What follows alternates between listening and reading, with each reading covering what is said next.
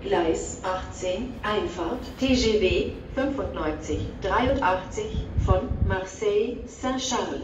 Ankunft ursprünglich 15.58 Uhr. Bitte nicht einsteigen. Vorsicht bei der Einfahrt.